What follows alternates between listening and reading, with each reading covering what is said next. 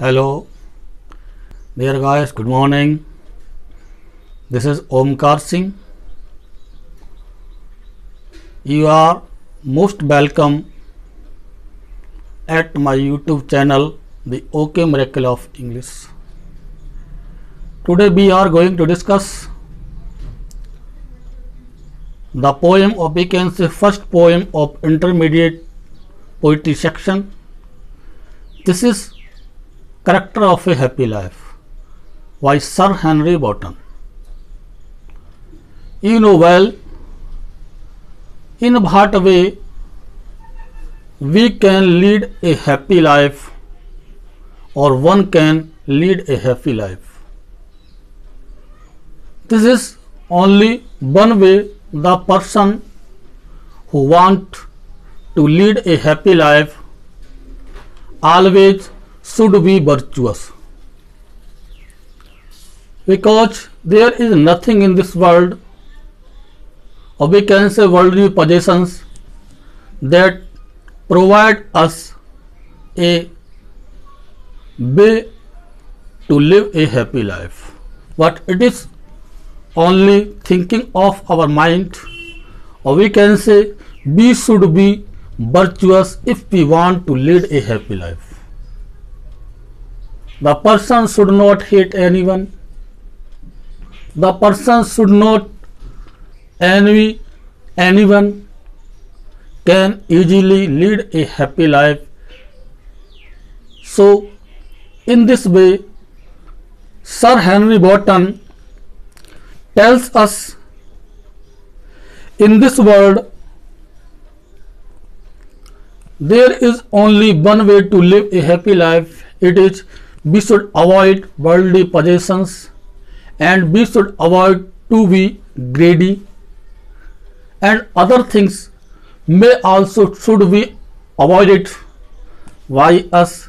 When in this world we want to live a happy life these are things that not uh, reach us in a good way. We should always avoid them.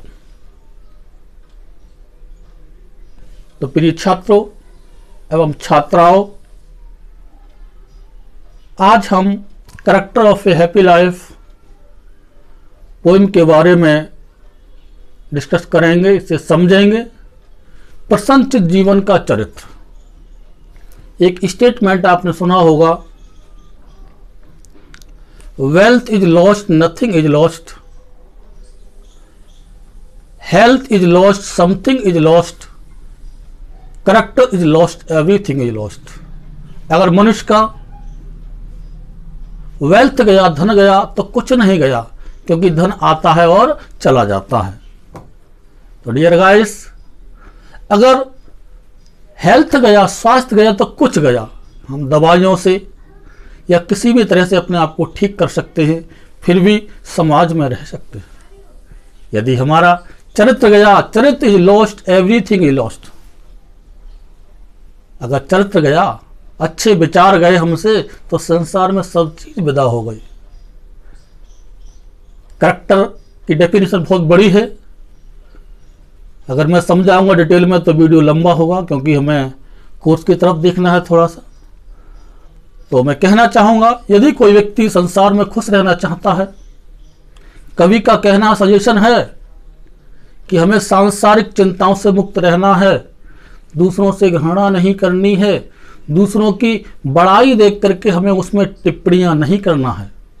ईर्ष्या नहीं करनी है दूसरों से। समय समय पर ईश्वर को याद करते रहना चाहिए।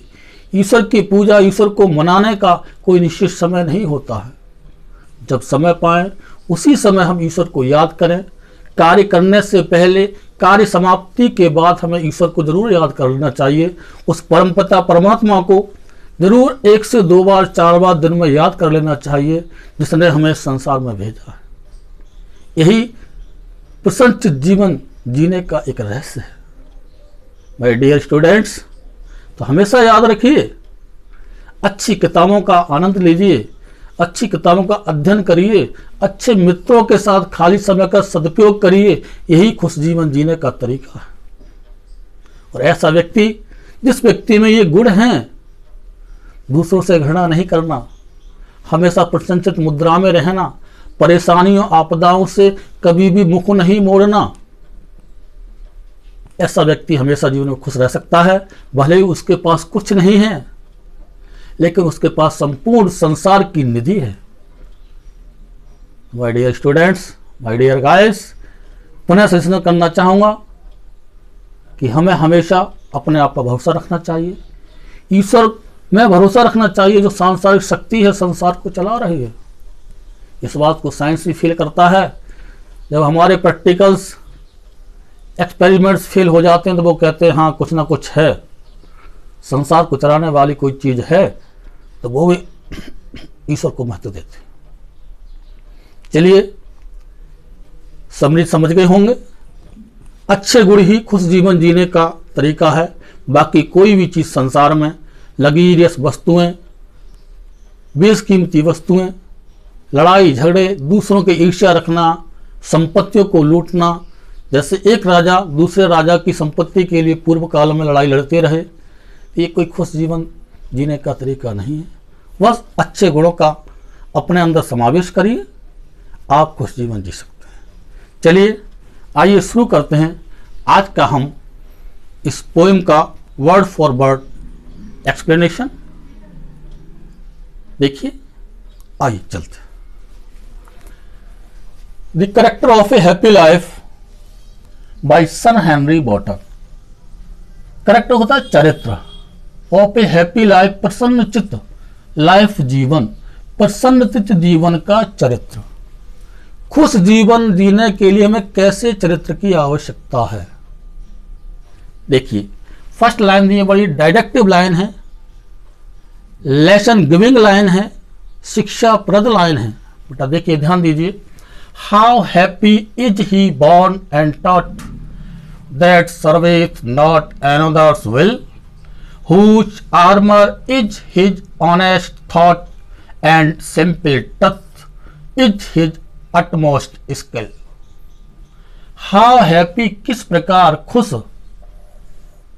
इज़ होता ही वह व्यक्ति बॉर्न जन्म से एंड टॉट शिक्षा से एक व्यक्ति अच्छे घराने में जन्म लेने से या अच्छी शिक्षा प्राप्त करने से क्या प्रसन्न रह सकता है? ये संभव है। ये अगर आदमी अच्छे घराने में पैदा हुआ है, संस्कारवान घर में पैदा हुआ है, अच्छी शिक्षा मिली है तो खुश जीवन जी सकता है। कैसे जी सकता है? देखिए, दैट सर्वेथ जो सेवा करता है, नोट नहीं एनोदर्स दूसरों की बिल, इच्छा अनुसार। अर्थात जो व्यक्ति दूसरों के कहने पर कार्य करता है कि सब वो कहेंगे, तब हम कुछ करेंगे। तो इसका मतलब है कि खुश जीवन नहीं जी सकते। अगर कार्य आपको दिया है, सौंपा है तो उस कार्य को तत्परता के साथ करिए। विषम परिस्थितियाँ आ सकती हैं, परेशानियाँ आ सकती हैं, उनको झेलिए और निश्चित रूप से आपको सफलता मिलेगी। जब आप अपनी इच्छा से हृदय के आवाज़ पर कार्य करेंगे तो आपको निश्चित रूप से वह कार्य में सफलता मिलेगी और आप खुश जीवन जी सकते हैं। तो दिया है कि किस प्रकार शिक्षा से जन्म से आदमी खुश जीवन जी सकता है और वह व्यक्ति खुश जीवन जी सकता है जो अपनी स्वेच्छा से किसी कार्य को करने में सहभागिता देता है, किसी दूसरे के कहने की प्रतीक्षा न करके, किसी कहने पर ना करके। मतलब दूसरा आदमी प्रयास करे तभी हम करें तो खुश जीवन नहीं जी सकता, बल्कि स्वयं स्वतः करने वाला व्यक्ति खुश जीवन जी सकता हुज आर्मर, हुज जिसका आर्मर होता है, कवच, रक्षा कवच। इज़ हिज होता है ऑनेस्ट ईमानदारी पूर्ण थॉट विचार। और जिस व्यक्ति के ईमानदारी पूर्ण विचार ही रक्षा कवच होते हैं, अगर आप अपने आप में सत्यवादी हैं, सत्य के पथ पर चलने वाले हैं, गांधी जी ने कहा था, सत्य अहिंसा के बारे में बताया था तो जो सत्यवादी है, सत्य इसके विचार है, सच्चाई उसके अंदर है, उसे किसी अन्य ज्ञान की, बड़े ज्ञान की आवश्यकता नहीं है। वो सबसे अच्छा उसका प्रोटेक्शन है, उसकी सुरक्षा है, उसका कवच है, उसे अन्य किसी कवच की आवश्यकता नहीं है। जो व्यक्ति अपने आप में ईमानदार है, वह हमेशा निडर रहता है, उसकी हमेशा सुरक्षा अपने आप में स्वतः ही होती रहती है। एंड सिंपल तत्व सिंपल साधारण तथ सच्चाई इज़ इज़ है, हिज उसका अटमोस्ट सबसे अच्छा या सबसे महत्वपूर्ण श्रेष्ठ। स्किल, कौशल, बुद्धिमत्ता, कुशलता। जिस व्यक्ति के अंदर सच्चाई है, वह अपने आप में पूर्ण कुशल माना जाता है। उसे अन्य किसी ढाल की, तलवार की प्रोटेक्शन की आवश्यकता नहीं, क्योंकि ऐसा व्यक्ति ईमानदारी, पूर्ण विचार रखने वाला हमेशा खुश जीवन जी सकता है। तो पूरे की समझ देखिए, वह व्यक्ति जन्म से या शिक्षा से किस तरह से खुश जीवन की नेतृत्व कर सकता है? वह व्यक्ति जो दूसरों की इच्छाओं पर न करके स्वयं अपने विचारों के अनुसार, अपने भाव के अनुसार मन से कार्य करता है, खुश जीवन जी सकता है। और जिस व्यक्ति के ईमानदारी पूर्ण विचार होते और जो व्यक्ति सत्यता के पथ पर चलता है, उस पर अन्य कुशलता को न रखते हुए सत्यता रूपी कुशलता उसके अंदर है। ऐसा व्यक्ति खुश जीवन जी सकता है। अंडरस्टैंड चलिए नेक्स्ट चलते बेटा। Whose patience not his masters are, whose soul is still prepared for death, untied unto the world with care of princely love or vulgar wreath. Whose patience जिसकी तीव्र इच्छा पेशेंस होता है तीव्र इच्छाएँ नॉट नहीं होती हिज उसकी मास्टर्स कंट्रोलर उस पर काबू करने वाली आर हैं जिस व्यक्ति की तीव्र इच्छाएँ उस पर हावी नहीं होती हैं। कि हमें कुछ चीज़ें ऐसी होती हैं जो कि हमें नहीं करना चाहिए, लेकिन हमारे मन में एक दृढ़ता के साथ भाव उठकर आता है गलत काम करने के लिए भी कि हमें वो कर कर ही रहना है। तो वो हमें नुकसानदायक होता है। तो हमें तुरंत हमारी तीव्र इच्छा हम पर नहीं हावी हो, बल्कि हम उन पर स्वयं कंट्रोल करने वाले हों। Self control is the best control self control is the best rule आत्म नियंत्रण ही सबसे बड़ा शासन है शासन है अच्छा रूलर वही हो सकता है जो सेल्फ कंट्रोल कर सकता है ओके तो वह व्यक्ति जिसकी तीव्र इच्छाएँ, उसकी स्वामी नहीं होती हैं हुज सोल जिसकी आत्मा इज़ स्टिल स्टिल मीन्स हमेशा प्रिपेयर तैयार रहती है फॉर डेथ मृत्यु के लिए। और जिसकी आत्मा सदैव मृत्यु के लिए तैयार रहती है, अर्थात वह व्यक्ति जो मौत से नहीं डरता है। कैन नॉट फियर हम मृत्यु से डरा नहीं सकती। टच हिम टीज हिम अरे मरना कोई बड़ी बात दुनिया को मरना है, लेकिन यही नहीं है कि उसे डर लगे कि हम मर रहे हैं, नहीं। ऐसे व्यक्ति की मृत्यु कुछ नहीं बिगाड़ सकती। ये तो आना जाना है। जैसे नए वस्त्र धारण करते पुराने तज देते हैं, उसी तरह से आत्मा न मरती है, न जन्म लेती है, शरीर छोड़ जाता है। तो वह व्यक्ति जो हमेशा मृत्यु के लिए तैयार रहता है, खुश जीवन जी सकता है। Untied unto the world with care untied tied होता बना होना अनटाइड खुला होना, अर्थात मुक्त रहना फ्री रहना, स्वतंत्र रहना अनटू से द वर्ल्ड सांसारिक विद केयर चिंताओं। वह व्यक्ति जो सांसारिक चिंताओं से दूर रहता है, मुक्त रहता है कि क्या हुआ, क्या होने वाला है। भगवान श्री कृष्ण ने गीता में कहा है, जो हुआ अच्छा हुआ, जो होगा अच्छा होगा, जो हो रहा है, वो अच्छा हो रहा है।